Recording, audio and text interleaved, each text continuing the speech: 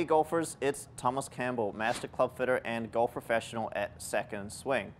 Today I'm going to be focusing on how temperature affects the distance with a mid-iron. As a professional golfer, when I'm playing outside, I'm really trying to calculate how much shorter the ball will go when it's colder out or how much further the ball will go when it's warmer out. And we do know that the ball will go shorter when it is colder, and we do know that the ball will go further, but I don't know exactly how much. So for today's test, I'm hoping to create a formula to really find out exactly what distance the ball will go further in a higher temperature or how much shorter the ball will go when it's colder out. So this will be an interesting test. We are going to test the range from 20 degrees Fahrenheit all the way up to 100 degrees Fahrenheit. So I'll hit some shots with a 7 iron at 20 degrees, 40 degrees, 60 degrees, 80 degrees, and 100 degrees, and we'll take a look at the differences in the distance. If you do like this content, please do make sure that you subscribe to this channel. Plenty other great content coming like this way in the future. Maybe I'll throw in a driver video as well and see how temperature affects the driver. This is some shots with irons today and take a look at some numbers.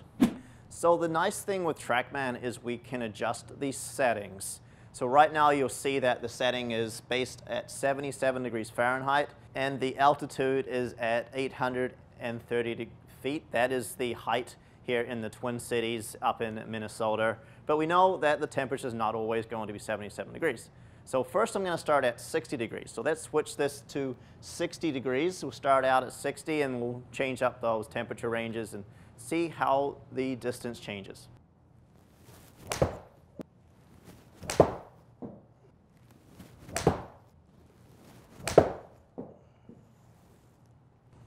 Okay, so I'm going to hit four shots with each different temperature change. So we'll notice that my club speed was right about 84 and a half miles an hour on those four shots. So when I change up the temperature ranges, I'm going to try and swing at that very, very close to that same speed so we can take a look at the differences.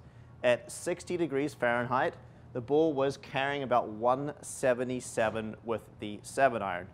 Now let's switch it up to a much colder temperature. Let's try 20 degrees and then we'll take a look and see what happens there.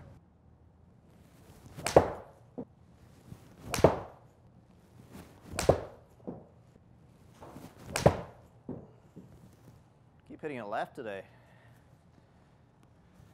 So four more swings with the temperature at 20 degrees Fahrenheit now.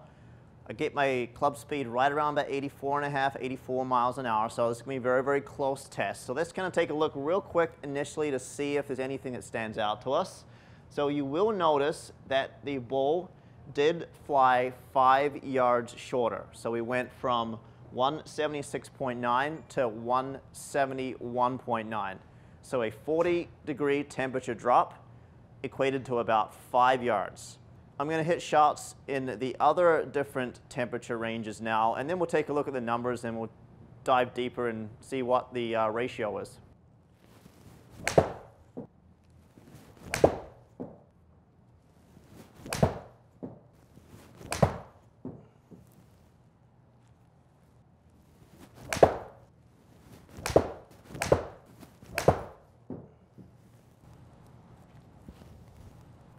Let's dive deep into the numbers and find out if we picked up more distance when the temperature was warmer or if we lost distance when the temperature was cooler. TrackMan would suggest a formula to go off for your average amateur golfer. Essentially, they would recommend every 10 degrees Fahrenheit increase in temperature would equal one yard further in distance. So we'll, we'll, see if this is pretty close here if we take a look at the numbers kind of right off the bat here. So let's first start off with, uh, let's first start off with 60 degrees Fahrenheit. So 60 degrees Fahrenheit is probably pretty typical for a lot of golfers when they're playing, uh, playing their rounds of golf, some, maybe teeing off early in the morning in those warmer climates. So at 60 degrees Fahrenheit, I was carrying the ball 176.9. If we drop that down to 40 degrees Fahrenheit, so we lost 20 degrees. So TrackMan would suggest we'll lose two yards. We'll notice spot on, 176.9 to 174.9. So that formula is pretty accurate with regards to dropping from 60 to 40. Now keep in mind, This is a small sample size. I didn't hit shot every shot perfect. We'll take a look at my dispersion screen up there on, on, the, on the right. And I did have a little bit of a draw going on every single time today. But it's going to be very, very close. And it's going to be a good way to educate you on how far the changes will be with regards to distance in temperature. So if we go from top to bottom, so at 20 degrees Fahrenheit, my carry, carry distance was 171.9. If we go all the way up to 100 degrees Fahrenheit, my carry distance was 8, 184.6. So I picked up about 13 yards. I picked up one club. So from, for an 80 degree temperature change, there was one club difference. A lot of times when I'm playing out on the golf course, I don't know if it's one club or if it's half a club or a couple yards. So you'll notice if there's a huge change, there is that one, cl one club difference. Keep in mind, that not many golfers do play in 20 degree Fahrenheit weather. Up in Minnesota, we're kind of a hardy bunch, but uh, I'll tell you, I won't be outside playing in 20 degrees, that's for sure. But some courses really kind of do stay, stay open pretty late into December and open up as early as, early as they can in the spring. So it's going to be kind of interesting test to look at the other numbers. So from 20 degrees to 40 degrees, we had a three yard increase from 40 to 60, we had a two yard increase. From 60 to 80, we had a five yard increase. And then from 80 to 100, we had a, about a three yard increase. So pretty accurate. It's, it's, it's pretty close to that two yards. I say kind of two to three yards. A lot of this might also come down to how fast a player is swinging at the golf club. If you hit the ball further, you're probably going to see a little bit more of an increase. So you might be at that top end of that kind of two yards.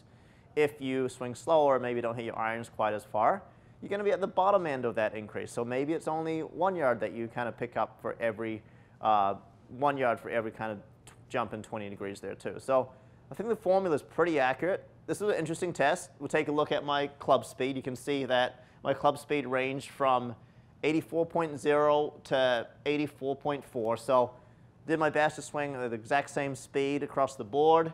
Um, we'll notice that there were increases when the temperature increased. There were some decreases when the temperature decreased. I do want to take a quick look at height and landing angle because that is also very important to give yourself plenty of stopping power. So let's kind of take a look real quick and see if there's any trends that we noticed. So you will notice at the highest temperature, so at 100 degrees Fahrenheit, the landing angle actually was the steepest. It was at 44.3 degrees.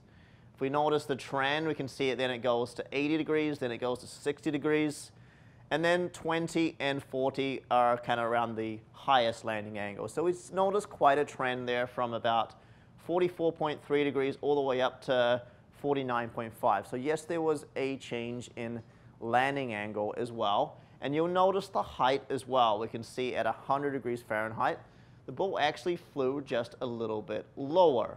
And then we'll notice at 20 degrees and 40 degrees Fahrenheit that the bull actually flew just a little bit higher. Now, I don't know, I, can't, I don't know for sure if this is true. I want to do a little bit more testing, and I think outside that would be a good chance to kind of do the, do the testing if we can maybe hit some shots outside in the spring in, in Minnesota and, and when we get some temperature changes there to see the, the real, real, real stopping power across the board. But it's kind of really interesting to see that, that slight little trend going on there. I mean, that's quite a change from 44.3 to 49.5. And if you take a look at the dispersion pattern, I was hitting it in about the same spot. My club face was just a little bit kind of closed there today to hit it just a little bit to the left side with my little draw that I like to play. But yeah, it's, it's really interesting test. I think the takeaway is the formula of every degree of temperature change, so every 10, 10 degrees increase, you're going to pick up about a yard more carry distance. We'll notice we're pretty spot on there. If you do swing faster or hit the ball further, there may be some slight more increases. If you swing slower, don't hit the ball quite as far or maybe quite as high, the increases or the decreases may be not quite as much. So this is a fun test. I really hope you appreciate this content. Make sure you subscribe to our channel. Can't wait to bring you more content in the future.